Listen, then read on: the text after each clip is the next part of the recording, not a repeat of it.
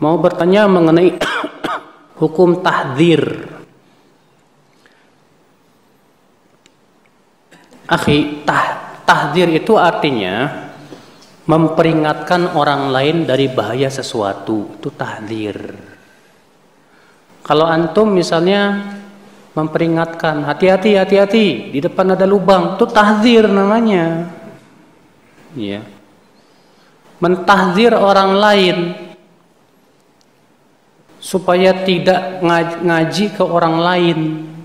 Boleh kalau memang orang tersebut betul-betul sudah dipastikan akan kesesatannya dan bahaya pemikirannya. Iya. Dahulu di zaman Rasul, Rasulullah SAW mentahdir. Contohnya Rasulullah mengingatkan akan bahaya khawarij. Itu kan tahdir. Rasulullah SAW mengatakan Al-Qadariyah majus hadil ummah. Qadariyah majusi umat Islam. Tahdir juga.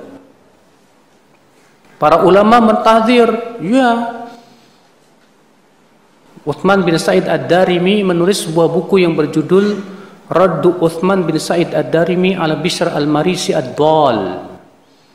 Bantahan Bishr, uh, Uthman bin Said Ad-Darimi terhadap Bishr Al-Marisi yang sesat.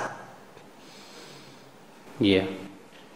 Imam Syafi'i juga mentahdir Ja'ad bin Dirham, Bishr Al-Marisi yang merupakan dai-dai kepada keyakinan Jahmiyah dan lagi banyak ulama yang lainnya.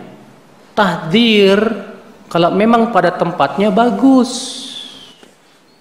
Kita mentahdir, hati-hati jangan sampai belajar kepada orang liberal. Karena pemikirannya sangat menyesatkan. Enggak masalah. Tahdir, bahkan Al-Qur'an sering kali mentahdir syirik. Mentahdir orang-orang kafir, mentahdir orang Yahudi, mentahdir orang Nas Nasrani itu memang manhaj betul. Tapi kalau serampangan yang bahaya, Pak. Ya, menuduh saudaranya dengan tuduhan yang tak berbukti sama sekali, tidak ada tabayun sama sekali. Mau bertanya mengenai hukum tahdir. Akhi, tah, tahdir itu artinya memperingatkan orang lain dari bahaya sesuatu. Itu tahdir.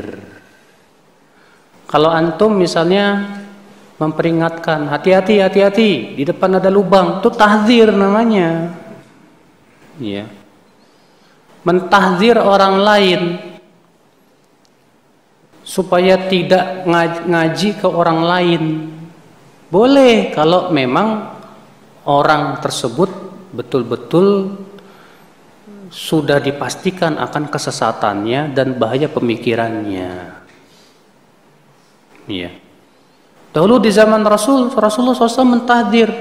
Contohnya Rasulullah mengingatkan akan bahaya khawarij. Itu kan tahdir. Rasulullah SAW mengatakan Al-Qadariyah majus hadil ummah. Qadariyah majusi umat Islam. Tahdir juga. Para ulama mentahdir. Ya, Uthman bin Said Ad-Darimi menulis sebuah buku yang berjudul Raddu Uthman bin Said Ad-Darimi ala Bishr Al-Marisi Ad-Dal. Bantahan Bishr, uh, Uthman bin Said Ad-Darimi terhadap Bishr Al-Marisi yang sesat. Ya. Imam Syafi'i juga mentahdir Ja'ad bin Dirham, Bishr Al-Marisi yang merupakan dai-dai kepada keyakinan Jahmiyah dan lagi banyak ulama yang lainnya. Tahdir kalau memang pada tempatnya bagus. Kita mentahdir, hati-hati jangan sampai belajar kepada orang liberal. Karena pemikirannya sangat menyesatkan. Enggak masalah. Tahdir, bahkan Al-Qur'an sering kali mentahdir syirik. Mentahdir orang-orang kafir, mentahdir orang Yahudi, mentahdir orang Nas Nasrani itu memang manhaj betul. Tapi kalau serampangan yang bahaya, Pak. Ya, menuduh saudaranya dengan tuduhan yang tak berbukti sama sekali, tidak ada tabayun sama sekali. Seperti misalnya ada yang mengatakan itu roja dapat dana dari dari Yahudi, ada tuh ngomong gitu. Ya, benar, yang ngomong seorang yang diustadkan gitu. Katanya nggak mungkin itu tanpa iklan. Mana ada radio tanpa iklan? Itu pasti dananya dari Yahudi. Pas kita tanya mana bukti-buktinya? Nggak bisa juga. Wallahi ya akhi, kalau kita yang dituduh sih enjoy enjoy aja pak. Yang ngeri itu yang menuduh. Kenapa? Karena Rasulullah SAW bersabda, "Man qala li akhihi ma laysa fihi adkhalahu Allahu fi radghatil khabal hatta yakhruja mimma qal. Siapa yang menuduh saudaranya padahal tuduhan itu tidak ada padanya, Allah akan masukkan ia ke dalam nanah dan darahnya penduduk api neraka. Sampai ia membawakan bukti terhadap tuduhannya tersebut. Ya udah silakan anta anta menuduh fadol. nggak ada bukti. Rasakan sendiri di hari kiamat nanti. Ngeri. Kalau tahdir kayak ginian bahaya nih pak.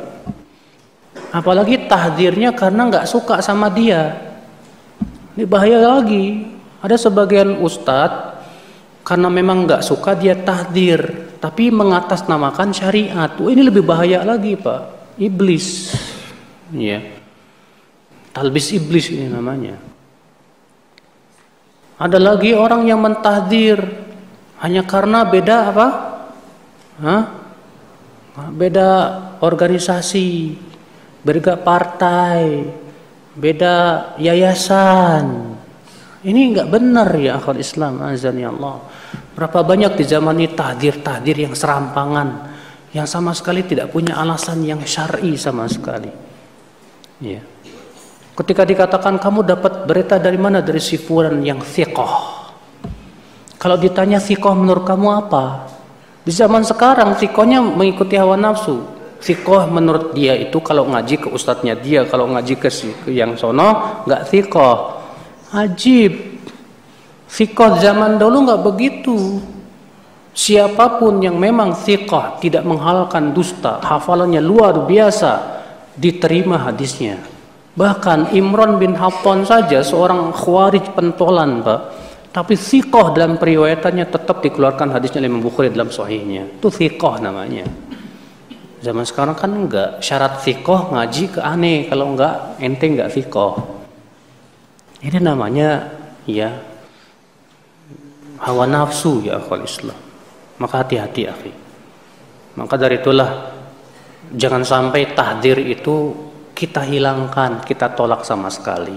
Ini tidak bagus.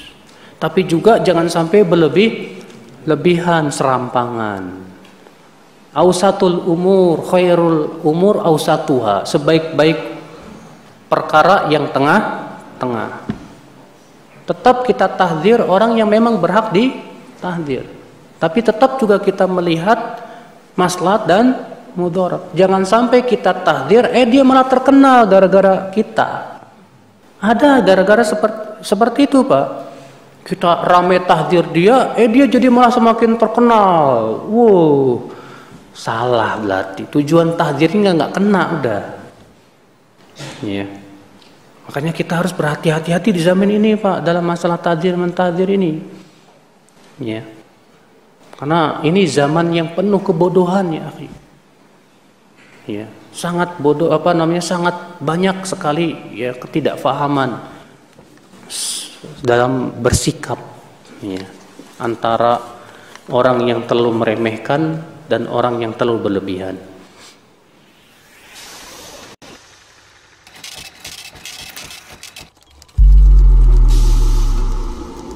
JT Original